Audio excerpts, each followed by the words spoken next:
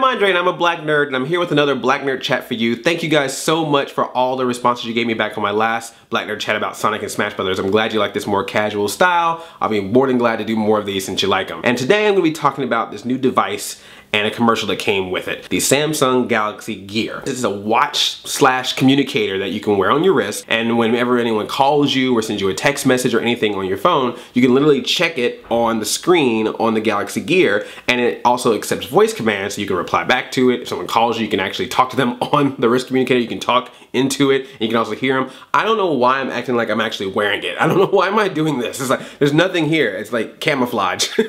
on the wrist strap, it has like a little camera so you can actually take pictures with it. So that's cool if you're, you know, a creeper at Comic-Con. Ooh, cute cosplay. Click.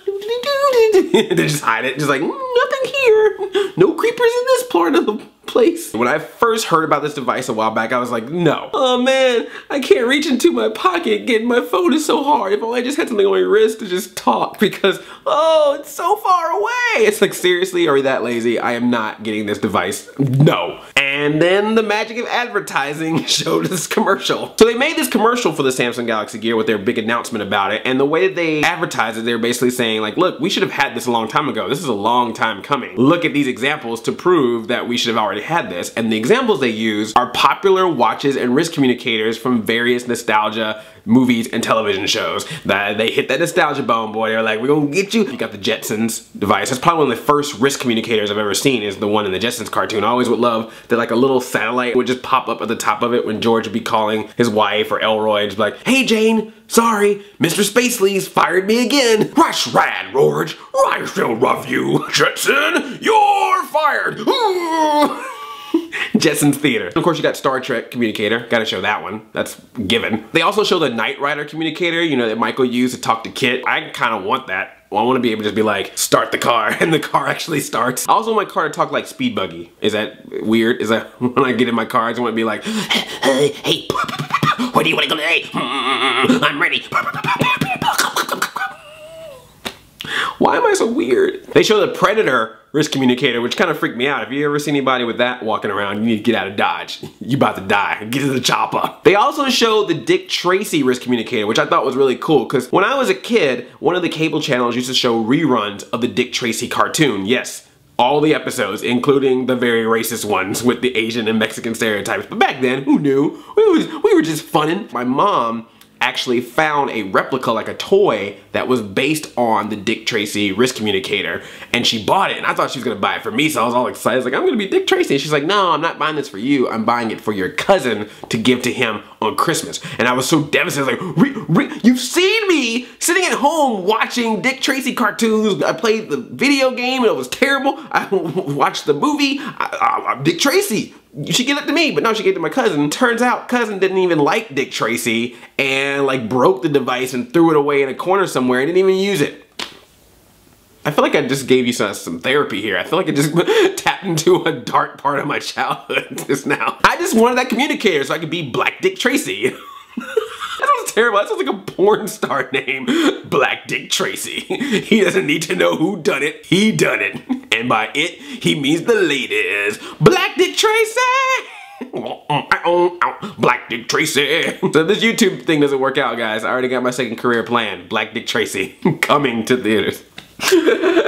Oh, terrible. Moving on. Let's move on to Penny from Inspector Gadget. That's a great segue, right? The one that Penny would use to talk to Brain is in this. That was one of my favorites. That's probably one of my most memorable ones, other than the one I'm gonna talk about after this. Penny running around talking to Brain on a communicator, and she'd be like, Brain, I'm inside Dr. Claw's hideout. We gotta figure out how to turn off this device. And then Brain would be talking back. He had that little coming off of his collar and be like one piece in his ear, one in his mouth, and he'd just be like, and she will understand what he's talking about. I think that somehow that wrist communicator had some sort of device in it that will allow her to hear in English whatever Brain was saying. And let's not even get started on that book that she carried around as well. I, let's say that for another day. Inspector Gadget is always on duty. Wowzers. And of course, you can't talk about wrist communicators without showing one of the most popular wrist communicators of all time, the Mighty Morphin Power Rangers wrist communicator. When I was younger, I used to sit around and be like, let's call Zordon.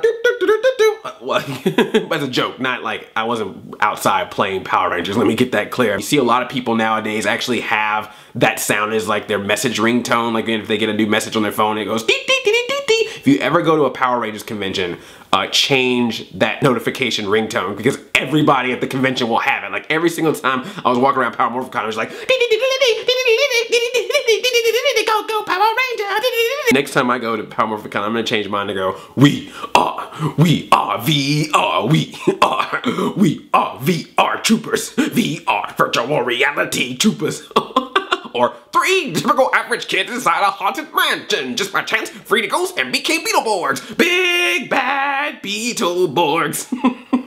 That's my ringtone. So one of the commercials shows all the clips from various shows in the communicator, and the other one shows like this montage of replicas of all the different communicators. I thought that one was really sweet. It's kind of almost like a, a history of communication through fictional devices. I still don't know if I'm gonna get this thing, especially because right now it only works for the Galaxy Note 3. It's supposedly gonna have an upgrade to be able to use it for the Galaxy S4, which I have. So I'm like, I don't know about this. And even when they upgrade, I don't know. But I do have an idea. I think it'd be awesome if they made some custom Galaxy gears that looked like the devices that they showed in these commercials. Because I can tell you right now, someone's gonna buy one of these things and make it look like a Power Rangers wrist communicator. That is gonna happen. We all know that that's gonna exist. So I'm just saying, you jump the gun, Samsung, so I can walk around feeling like a Power Ranger, being like, what is it, Zordon? Yes, I will check my email.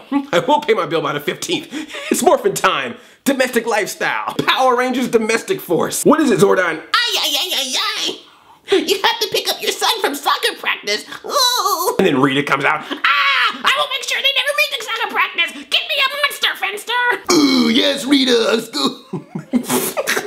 Ooh, Is that my Goldar? we must stop the soccer practice. Ooh, I will send out a monster and fight the Green Ranger.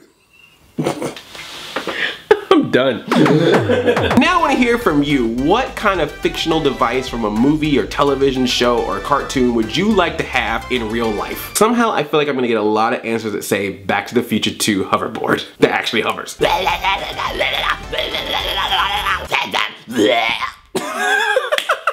I'll get you next time, Gadget. Next time. Come, Mad Cat. We will dispose of Gadget. I love cartoons.